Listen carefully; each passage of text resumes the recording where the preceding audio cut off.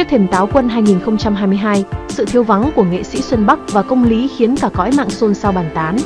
Hai diễn viên trẻ thay thế là Trung Duồi và Đỗ Duy Nam bỗng chiếm trọn spotlight khi đảm nhận vai trò bắt đầu nam tảo. Cũng chính bởi lý do này mà tài năng, sự nghiệp lẫn chuyện đời tư của cặp đôi này được dân tình đặc biệt quan tâm. Được biết, cả Trung Duồi và Đỗ Duy Nam đều có hôn nhân viên mãn bên hai cô vợ trẻ trung, xinh đẹp. 1. Vợ nam Tào Đỗ Duy Nam Chẳng những xinh đẹp như hát girl mà bà xã của Đỗ Duy Nam, Nguyễn Ngọc Anh, sinh năm 1995 còn là một diễn viên trẻ tài năng. Cô từng theo học khoa diễn viên của Đại học Sân khấu Điện ảnh Hà Nội.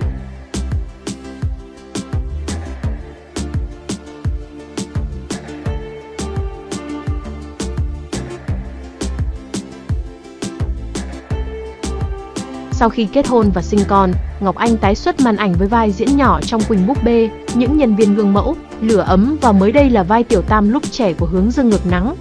Phải công nhận rằng nhan sắc của mẹ bỉm một con này đúng là cực phẩm, cực kỳ quyến rũ và tràn đầy sức sống.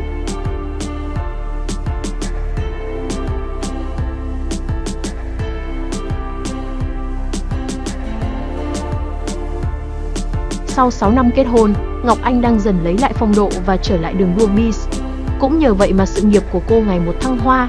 Bên cạnh đó, nhan sắc của cô nàng cũng ngày càng đầm thắm, quyến rũ. Có con ngoan, vợ lại trẻ đẹp, tài năng thế này thì bảo sao gia đình Nam Tào không hạnh phúc, ấm êm và viên mãn cơ chứ.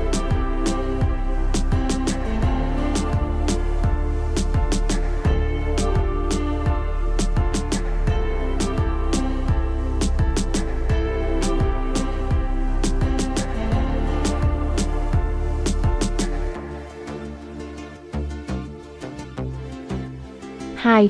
Bà xã bắt đầu chung ruồi Trong khi vợ Nam Tào là diễn viên thì bà xã nhà bắt đầu lại là một vũ công chuyên nghiệp.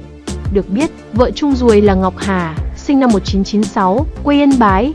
Năm 2019, cặp đôi quyết định về chung một nhà sau 3 năm hẹn hò.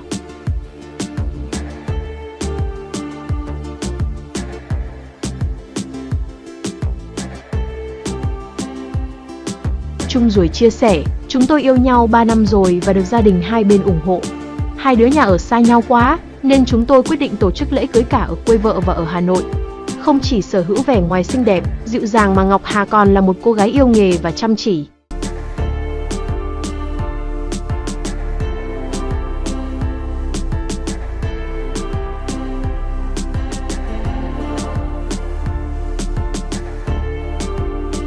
Sau 2 năm kết hôn, gia đình nhỏ của vợ chồng Trung Ruồi đã chào mừng thành viên mới là một bé gái bù bẫm, đáng yêu. Con gái nam nghệ sĩ tên là Nguyễn Hà Tuệ Lâm, sinh ngày 18 tháng 8 năm 2020. Cô bé thường xuyên được ba mẹ chia sẻ những hình ảnh đời thường lên mạng xã hội,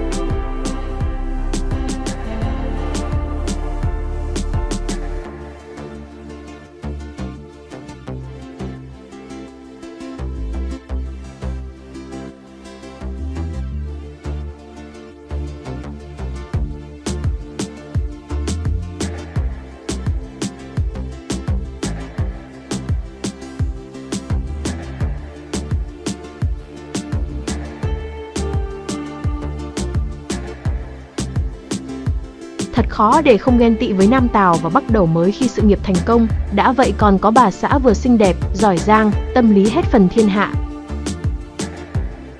Bây giờ xin chào và hẹn gặp lại. Chúc các bạn có những phút giây thư giãn cùng thông tin 24 giờ. Đừng quên nhấn like, subscribe ủng hộ. Cảm ơn.